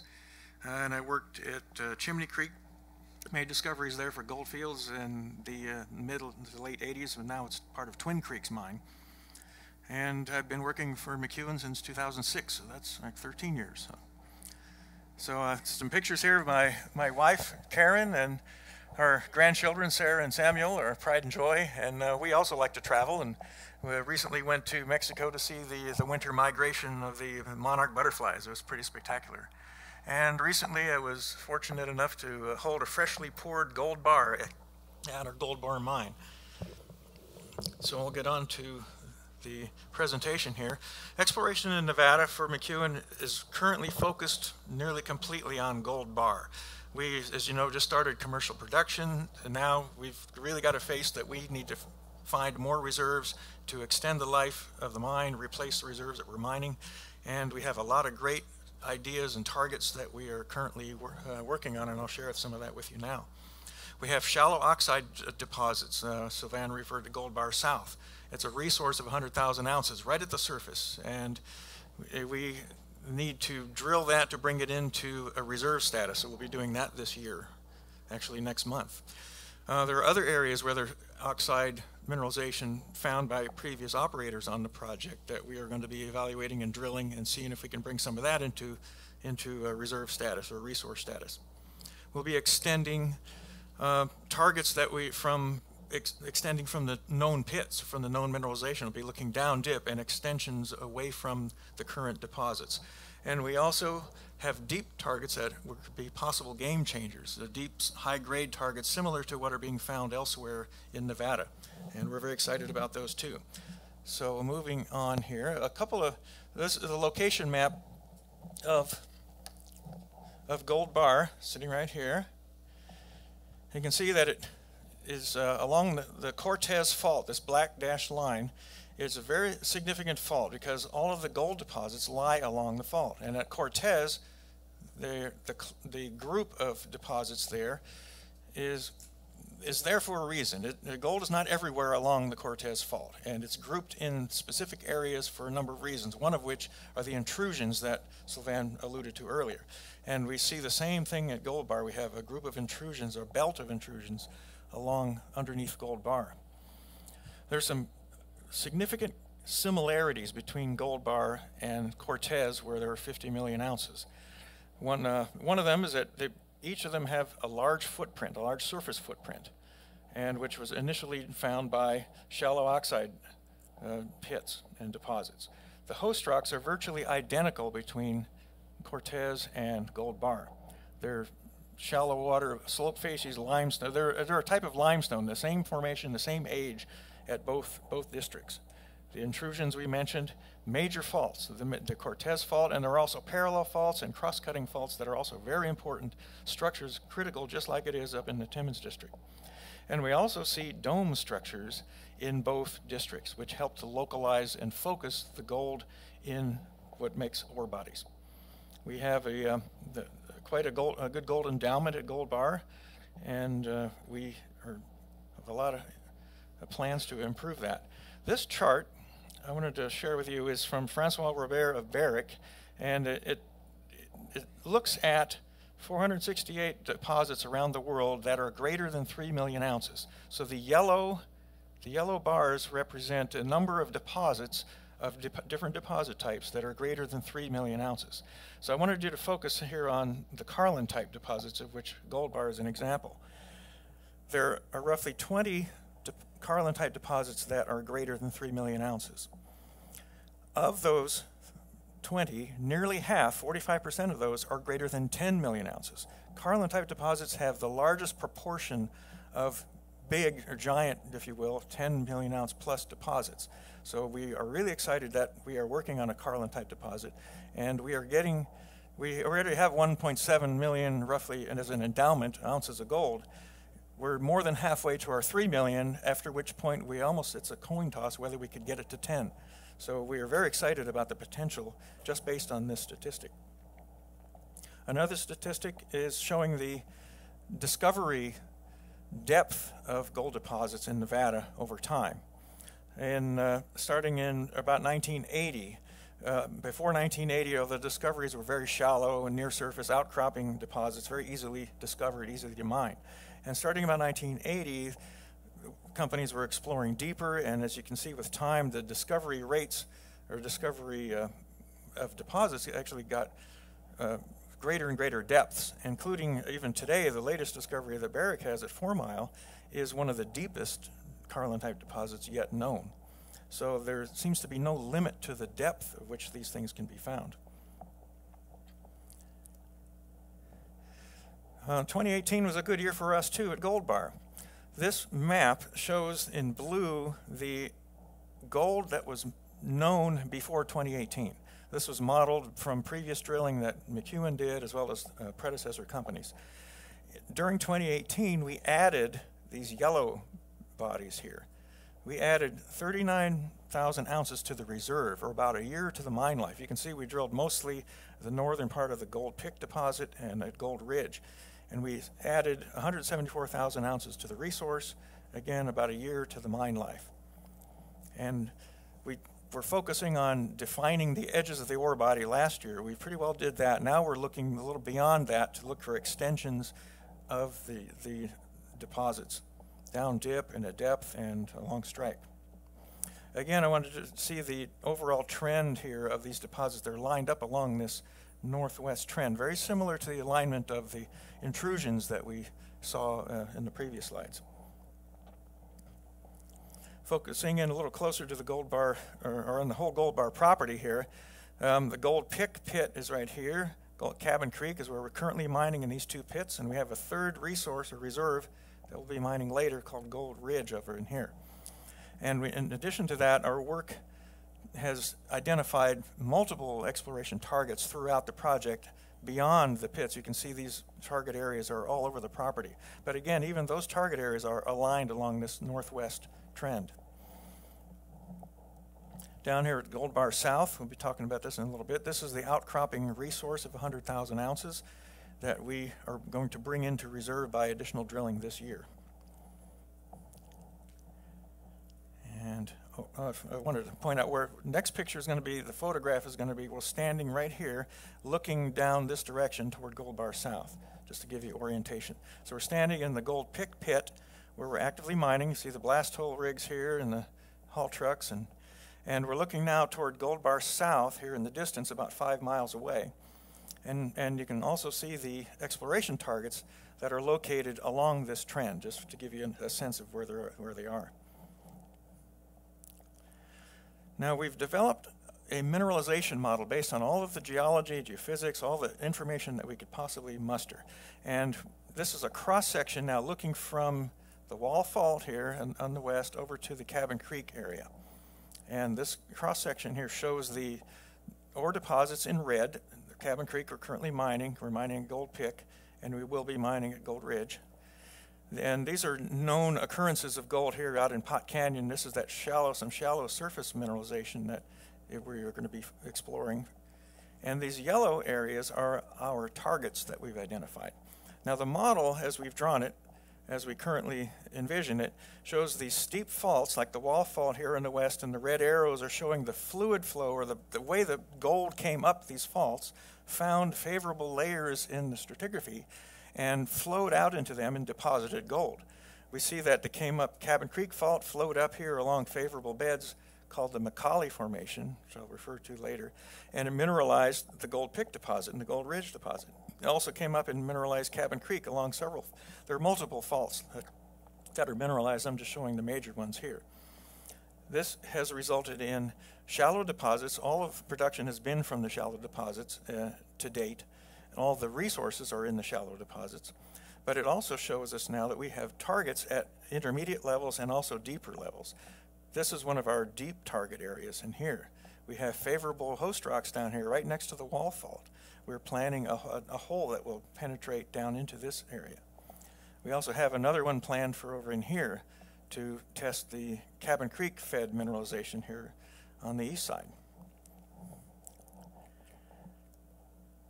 Oh, yeah. Next, the next uh, slide is going to be focused into this target area here, which we call Gold Pick East or Gold Pick Down Dip. It's down dip extension of the Gold Pick deposit. And we'll zoom into that right now.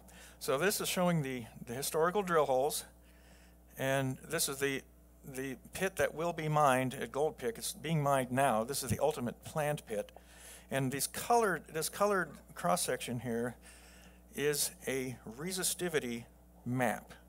And what resistivity measures is the, the conductivity, basically, of the rock. And limestone, unaltered limestone, will give you uh, just patterns like these red, uh, purples and pinks and blues. And so it's very resistive rock. Where there's alteration in the rock and clay gets formed, the resistivity goes down and you get these colors like these uh, light greens and light colors. That, this means low resistivity. Something caused that low resistivity. It could be alteration.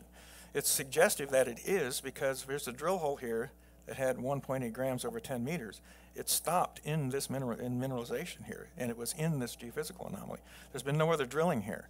The favorable host rocks, the McColley Formation, continues down through here, and it's not been drilled. This is a, a prime exploration target for us. The Cabin Creek Fault, bringing up fluids, hitting the favorable stratigraphy and flowing out along bedding and depositing gold is our model for this target. Next one is, okay, this is an index map here that shows you where we are. Gold Pick Pit is here, Cabin Creek Pit is here. Zooming in on this map, we can see the Cabin Creek Pit where we're currently mining right here. About 300 meters north, there we drilled a hole just this month. And there's no other drilling around there. We drilled a hole based on a surface anomaly and a geophysical anomaly. Here's a cross section showing the same type of resistivity survey. We have a low resistivity feature here. We drilled a hole to intersect that, and we hit some gold right in here. We hit a fault right here. This mineralization is coming up the fault, the same pattern that we see on the, on the master section, and coming up here and mineralizing favorable stratigraphy right in here. The, the hole we drilled is in black. We're planning to drill these blue holes uh, as a follow-up and to further test this target area here to the east. Pot Canyon. Okay, this area is out on the west of the trend. Here's here again for reference is Gold Pick, Cabin Creek, and Pot Canyon is out farther to the west. This is where I was telling you we had uh, historic holes that drilled shallow oxide mineralization right at the surface. I'll look at the cross section first. You can see these uh, faint little colored holes here. Those are the historic holes that hit mineralization, 1.1 grams over 42 meters, starting at the surface, 0.6 grams over 18 meters, right at the surface. And the holes stopped. They just drilled through the mineralization and quit. We know that the McColley Formation, which hosts Cabin Creek and Gold Pick, lies underneath here. It didn't get drilled. We're planning to drill with these blue, these blue lines are our proposed drill holes. The wall fault we model as bringing mineralization up into these favorable beds. And there's also the Roberts Mountains host down here. The Roberts Mountains Formation we know exists underneath Gold Bar.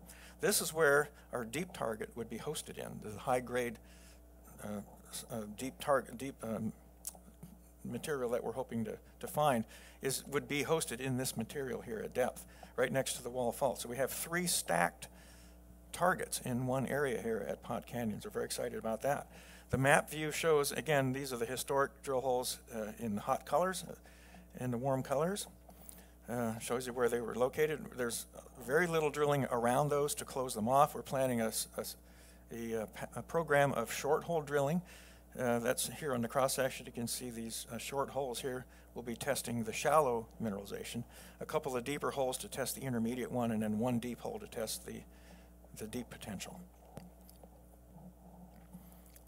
Moving now to Gold Bar South, again, our resource, 100,000 ounce outcropping resource. And a cross section view of Gold Bar South, this is our planned pit, the preliminary pit that uh, preliminary design to mine this outcropping mineralization.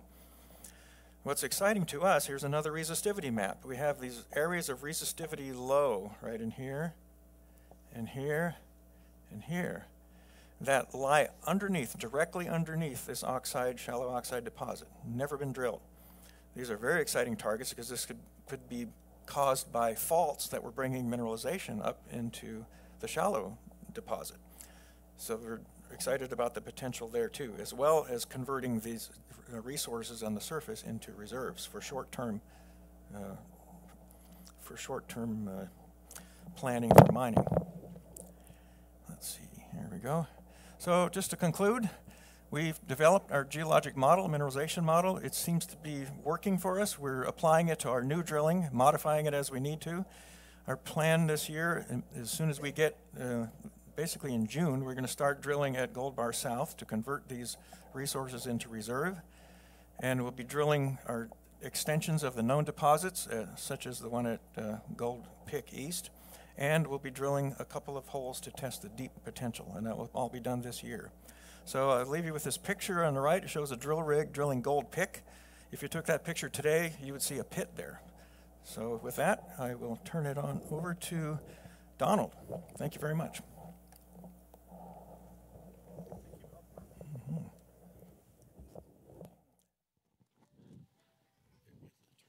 Turn it on. Yes. Thank you, Bob. Um, my name's Donald Brown, and I'm the Senior Vice President for projects with McEwen Mining, specifically focused to our large copper project in Argentina, the Los Azules project. Here you see my high-flying family, and they like to travel. With Stonehenge there and Segovia in Spain. Um, we've been doing this since they were little. It's getting a little more complicated these days. Um, my two daughters there, Fiorella and Alessandra, and their mother, Annette.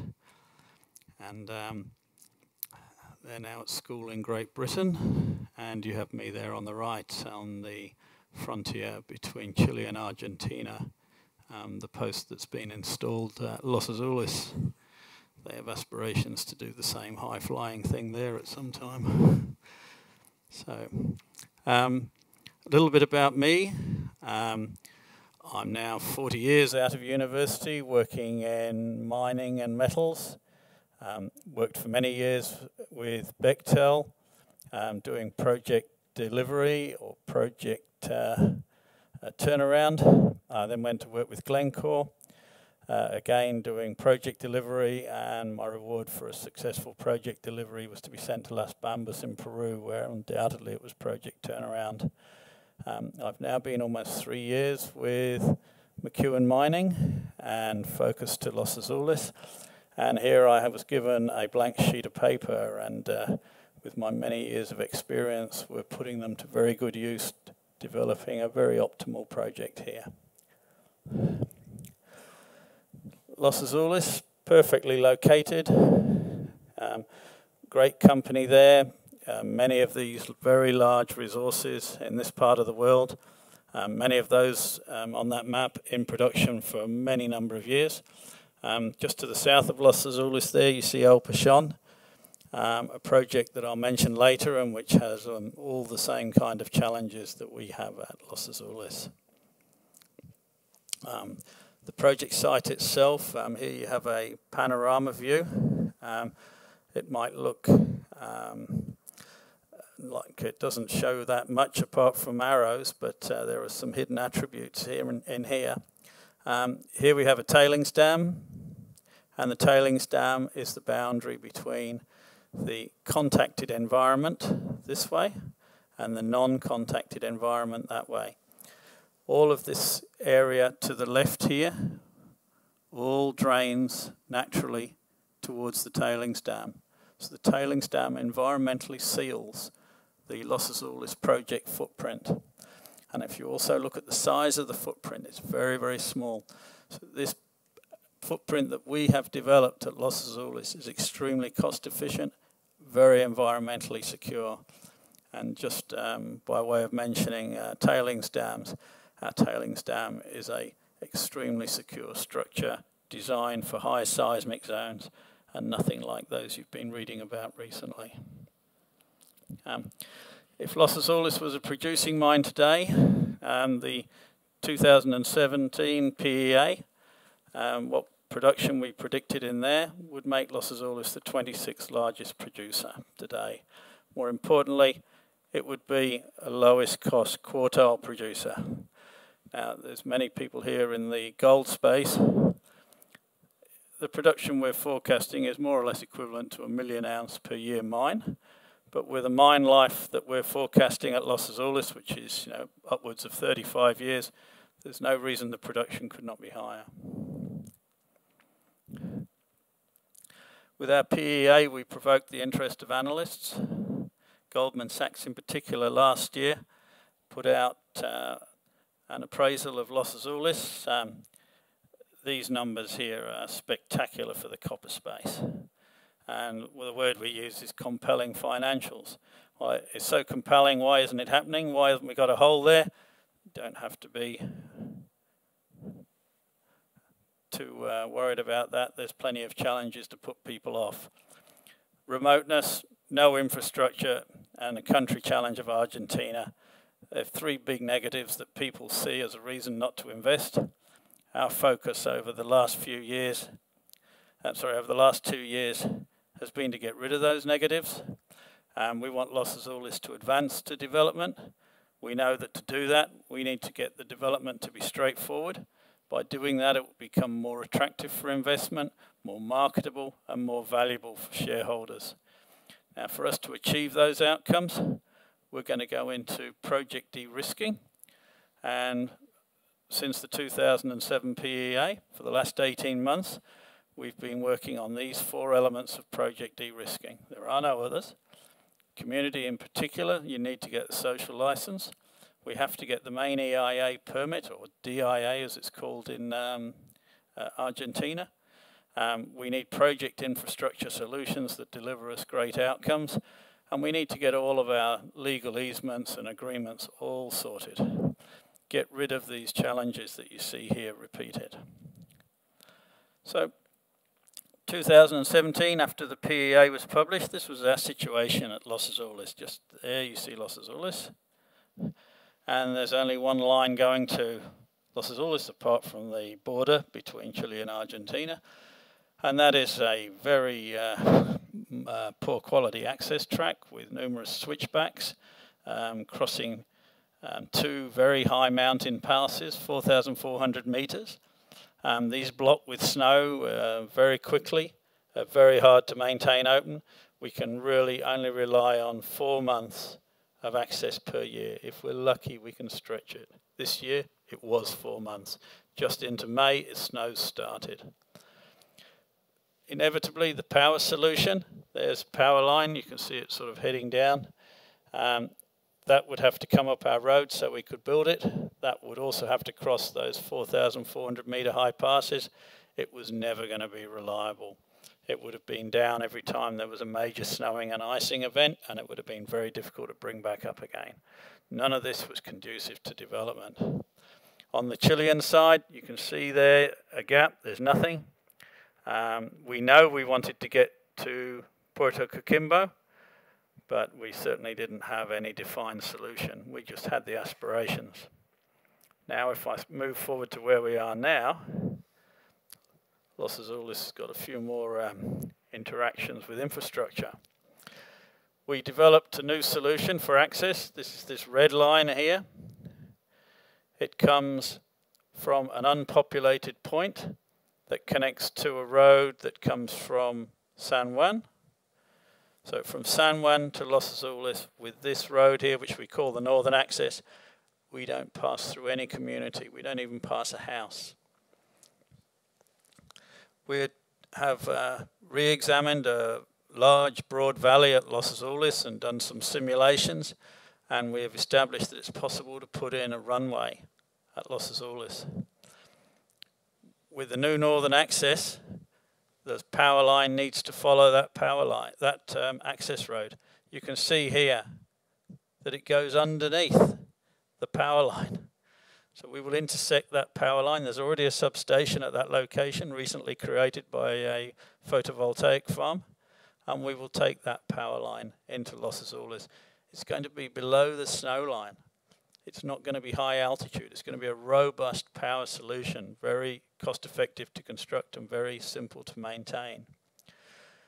We've also created a legal easement over a very rudimentary track that was recently improved by some exploration um, companies this year um, to link to that mine that uh, resource El Pachon to the south, which has all the same challenges as us the no power, the no access, and the no port solution.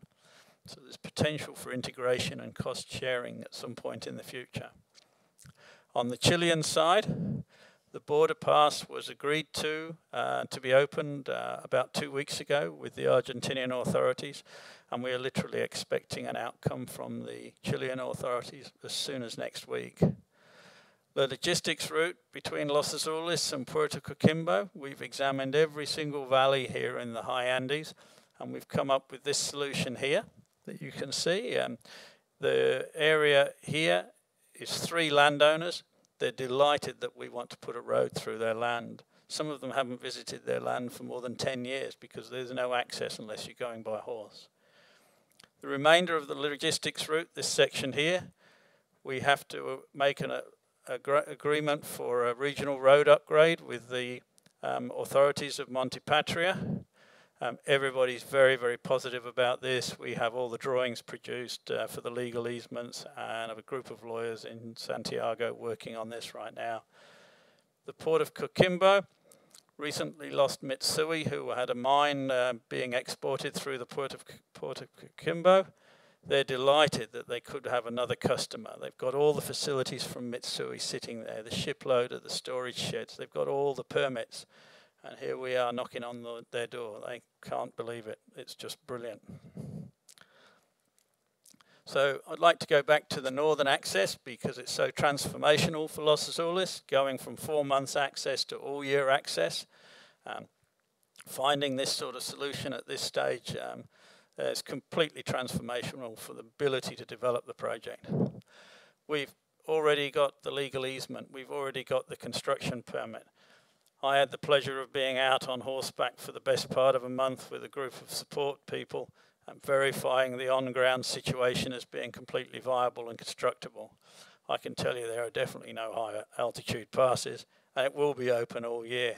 And as I mentioned earlier, there are no communities um, affected by this road. The power transmission line that's going to be alongside is the robust solution. And we presently have this road out for pricing with contractors, and with luck, we'll be doing this work later next year. Point of this is you can no longer consider Los Azules to be suffering from remoteness. As I mentioned, I was out there on horseback. Um, you can't see, there's another, there's the rest of the team are up there. Um, there's one of my colleagues there. Um, the route's essentially um, a riverside route for the first half, and for the second half, it's over hillsides and down valleys. Here's a more um, distant view, and I've put in what I see as the probable uh, route of the road in red, and you can see there where the transmission line would be. It's hardly challenging. This is a uh, design this design's been um, developed and it's been simulated by Lockheed Martin. Um, we know this airstrip works, works. We know we have no problem whatsoever um, escaping over these hillsides or landing in from that side. We have a thousand meters of margin in terms of altitude. The main thing here with this airstrip, look at this. One hour flying time from San Juan. You know, I mean, it's just just next door. Go down the airport, an hour later, you're on the ground. It replaces eight hours of driving. But think of that eight hours. You get up in the morning, you drive for eight hours to Los Azules, you're not going to do anything. The first thing you're going to do is go and spend the night there and you'll do some work in the morning. This is a complete game changer for operations and development phase. We'll be able to operate a fly in, fly out work roster where people work, turn up at the airport in the morning and go to work and then spend maybe the next two weeks, three weeks there. And then when they finish their work shift, they go to the airport and a couple of hours later, they're at home. It completely changes everything.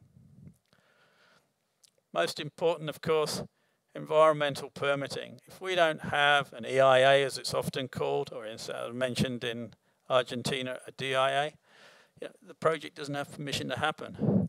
So we have been working the last 18 months doing all of these things that have got ticks. These last two, they're all due to happen in the remainder, remaining part of this year. But look at this major milestone. We will be getting a permit, or we believe we will be getting a permit next year. So, a situation summary. Tangible solutions developed. Remoteness, I've said that's no longer applicable. We have a new access road. We have a, a defined power line. We have an, a runway. We've got the logistics through Chile sorted out. We have a term sheet with the Port of Coquimbo all the infrastructure solutions that we need. In Argentina, it's often seen as very negative. It's a pro-mining government at national level. It's a pro-mining government at provincial level. And the local community, which has recently had a mine closed upon them, and just earlier this year, is really pro-mining. The inflation rate, which frequently makes the headlines in overseas newspapers, almost all of our costs are US based. The only inflation this project will feel is US dollar inflation.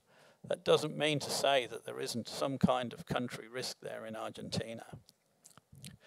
So our vision of where we want to be, where we plan to be at the end of next year, significant asset value accretion. All of these things we want to happen and we believe are going to happen. We're going to receive our permit. We will have constructed the Northern Access Road the airstrip runway will be commenced. Any remaining legal easements that we haven't got, we'll have by then. The Chile logistics route and exporting port will all be approved. I mean, it's going to be approved long before the end of 2020. And with all of this, it's inevitable. We will achieve this. Thank you very much. I'll hand over to Miguel.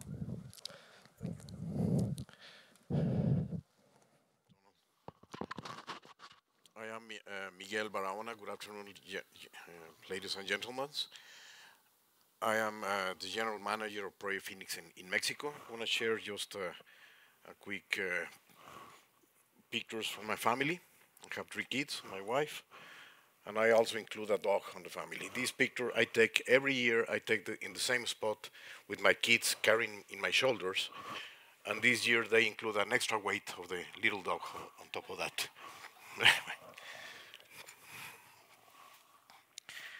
uh, something uh, just quickly uh, about my, my career. I'm a mining engineer. I've been uh, all my life uh, related with mining. I come from a mining family in Mexico. I've been working in South America, well, in uh, Bolivia, Chile, Argentina, Peru, uh, BHP Tintaya, for some junior companies in terms of exploration, doing consulting. I work also in uh, Australia with a con contract mining company named TIS, based in Brisbane. So I've been uh, all over the place and trying to do something with, with mining. And I'm very pleased to just recently joined the excellent team, wonderful, and it's fantastic team, uh, McEwen Mining. I just have six months uh, uh, that I joined the company, and it's a very exciting moment for uh, for being here. Um, just uh, a little bit to let you know what's happening in, in Mexico. You know El Gallo Gold that uh, started producing from 2010 to 2018, produced 286,000 ounces of uh, equivalent ounces of gold. Uh, 2018 started uh, producing with residual leaching, and from January to April 19, it produced 7,300 ounces of gold equivalent from the residual leaching. Uh, as May of 22nd, that means until yesterday, we have 313 days without lost time incident. That's very focused on, on safety, the, this uh, property property, as uh, I mentioned, is located in the state of Sinaloa. It's well known for epithermal deposits with high silver and high grade, high gold. Um, let me show you where Del Gallo is located. All the production I mentioned came from here, this El Gallo gold. And you have eight kilometers to the north, you have El Gallo silver, and you have another deposit which is Carrizalillo and then you have on the south, you have another deposit, which is El Encuentro, which is gold. And you have another one that is Palmarito. Uh, there are some other areas that hasn't been explored, but it's potential in, in here. But uh, as you can see, this uh, operation is reaching the end of uh, the mine life, and obviously McEwen is very interested to extend the life of this operation because it's, well, you have the resource, you have the people, and you have the infrastructure, and makes sense to to look for a business continuity in here.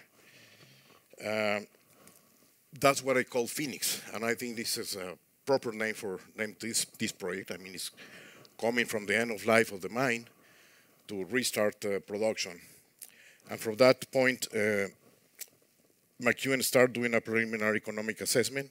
It was issued in 2018, and currently working on the feasibility study to be issued uh, next month in 2019.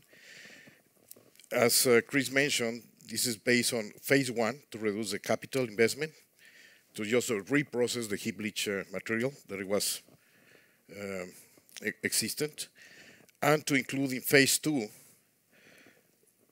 El Gallo Silver, Carrizalillo, Palmarito, and El Encuentro, those satellite uh, um, deposits or resources that are near the mine.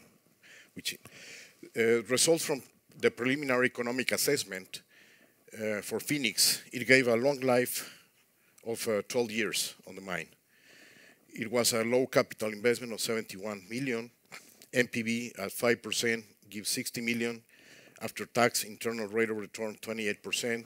This is a payback of uh, around four, four years for the investment. That involves, uh, includes a in-pit tailings storage. I'm going to talk about a little bit more in de detail and obviously it has exploration potential with some other that can easily go for over 12 years. Uh, the resource, uh, measure and indicator resource, we're talking about 563,000 gold equivalent ounces, and for an average annual production of 47,000 of gold equivalent ounces is, uh, is the estimated that comes from the PA.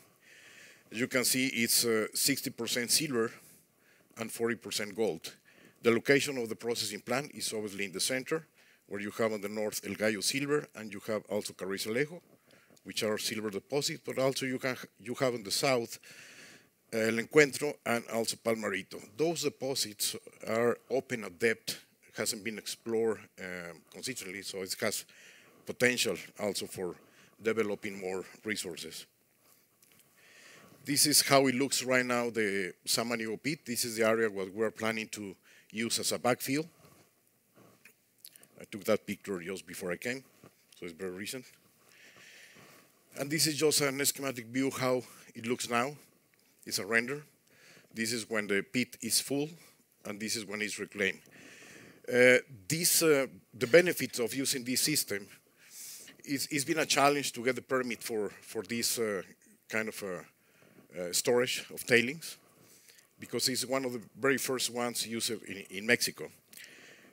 Obviously, the advantage of that, or the benefits, is you minimize the impact on the surface landscape. You don't leave a footprint, and just changing to this uh, to this system, we're talking about 399 uh, hectares that will not be will not be affected. Going, we're gonna, not going to leave a footprint on on, the, on this.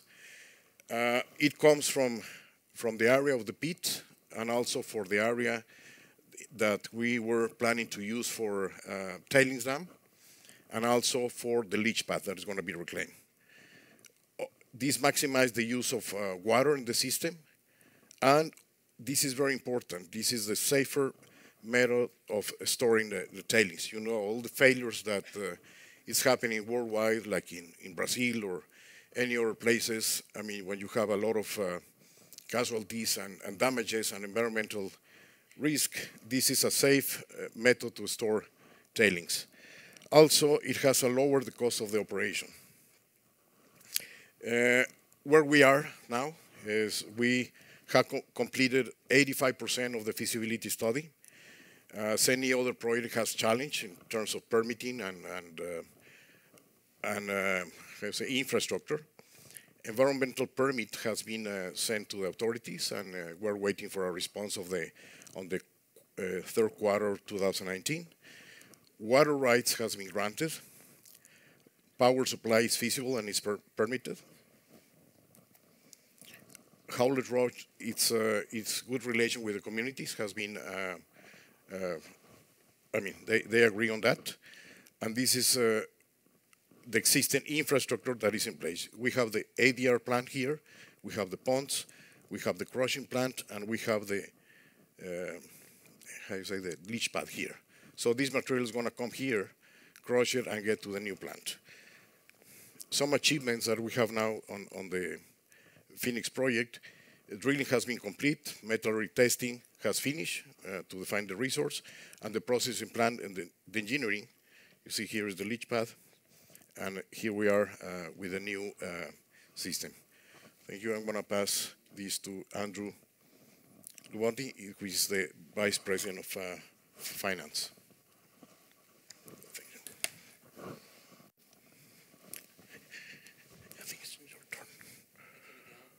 I'm, I'm abbreviating this because we have an annual meeting starting in about 10 minutes, and uh, we've gone a little over time. Hope you found it useful, and perhaps I could ask all of you to put your hands together and just and applaud the progress of all of the team.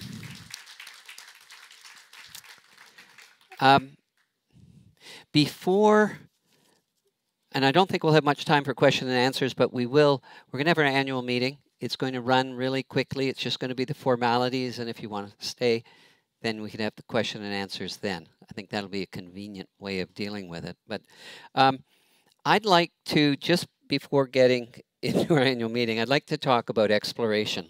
For, for me, that's been an enormous driver of value. And the rich high-grade discoveries at Red Lake um, became the engine that drove Goldcorp. It with, drove the spectacular share price performance. Uh, it's important to understand that Goldcorp began as a struggle, um, very much like Black Fox was when we bought it and is today. Um, when I began building Goldcorp, Red Lake, the Red Lake mine was a high-cost mine. It had short life, was expected to close in three years. Um, it had a very long history of troubled labor relations. It hadn't had any money spent on exploration, but it was right next door to a, a rich mine. Um, and I thought there was some opportunity there to explore. Um, we had to change the attitude of the workforce, um, which resulted in a labor strike that meant we had no revenue for 46 months. We had no production for 46 months. Um, gave me a death threat as well. Um, the price of gold was falling, and we retired debt. And when we started exploring, we went out aggressively. And we found something there that, um, in so many ways, reminds me of Black Fox. Uh, because Black Fox had it when we bought it, short life, year and a half. It was high cost, um, an unmotivated workforce, and it had a reputation in the market of not having served the two previous owners very well. Um, so let's go back to Goldcorp for a moment. It took five years before we got that discovery from the time I bought control of that company. So it doesn't happen overnight. But when we made the discovery, it there were nine holes with an average, and the average grade was 30 times greater than what we were mining at the time. So the average amount of gold per ton was 30 times the grade. And that average was 9 ounces per ton over an average width of 8 feet. So that's equivalent 280 grams over 2.5 meters. Now, when I look at the exploration results we put out today, and they, on the face page there were five results which were rich high-grade gold. Um, just to give you a sense, the average grade of those five is 4.9 ounces per ton, or 152 grams per ton. And it was over 6.23 feet, or the better part of two, two meters. So the grades a little more than half of what Goldcorp had, and the widths are good. Now, when we went back into production after the strike at Red Lake, we went from producing 50,000 ounces of gold to 500,000 ounces of gold a year. And the cost went from $360 an ounce to $60 an ounce. Now, I can't help but think there may be a possibility that maybe Black Fox is another Red Lake, not only with the grade, but there's a chance to increase the production. We have a um, big exploration program going on this year. $17 million will be spent on the Black Fox property, and there's going to be news coming out along the way. We were a little slow coming out with news so far this year. Um, we had a little covenant, loan covenant we had to get over at the end of March which caused us to have to do a financing. But um, we're fully funded, ready to go through. And Andrew is going to talk about it at the annual meeting when we start. so, and that start is in five minutes. So, uh, I can entertain a question or two right now. Then I can invite you to stay to the annual. And it, I can tell you it's we're experimenting. Last year we had a very fulsome annual meeting. We went through the formal part and then we had presentations such as we've just had now. So we're going to try to run through the formal part quickly because there's not much on the agenda. And I should say that for any of you that have just come in the room and wanted to get um, information on any of our operations, that the session that's just gone on since 2 o'clock today has been um, recorded and will be up on our website. So you can have that. It'll have an index in it. So if you don't want to sit there for a couple of hours, you can just break it down into pieces. So, are there any questions? Recognizing I'm going to cut you off soon. Yes? One of the best presentations I've ever seen, uh, and uh, you know, I think everybody here that uh, appreciates it. Uh, the, there, there, are a ton of questions, but for example, on Los Azules, uh, you know, are you going to be trying to get uh, ore out? It, it's early days, so you don't know. On the uh, to the west, or are you going to go through Argentina? And where are the actual uh, the, the, pits and the openings? I wasn't entirely clear. Are they all on the Argentine side, or are they on both sides? The property is all on Argentina, and we have an agreement with the governments to export, we're hoping to, export through the Pacific Um, there may be another option going out the other way, but um, the port on the Pacific, where there is warehouses available, is about 200 kilometers away, and a large part of that is on highway. Um, and Los Azules, if you want to look at it differently, we've mainly focused on gold, but we happen to have this large copper project. But if you were to take the price of gold and divide it by copper, copper price, you'd get about 480 pounds of copper is equal to one ounce of gold in terms of value. And then divided into our um, indicated and inferred resources, you'd end up with and include the gold that's in the property of five and a half million ounces. It's low grade, and 190 million ounces of silver, which is also low grade. You would be um, you'd have better than 60 million ounces of gold equivalent in that deposit, just to give you a sense of its scale. And at the production rate of 415 million pounds a year at a dollar 14 a pound, that would be equivalent to a little over 900,000 ounces a year gold equivalents at a cost of $550 an ounce at current prices. Just and I use that just to give you a sense of the magnitude of that deposit. Yes, any other questions? Yes.